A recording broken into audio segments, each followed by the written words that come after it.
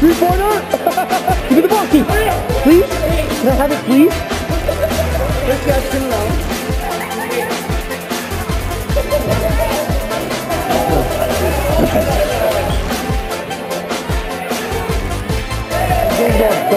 Well, I think the score tells it right now. This is even worse than those rebounds?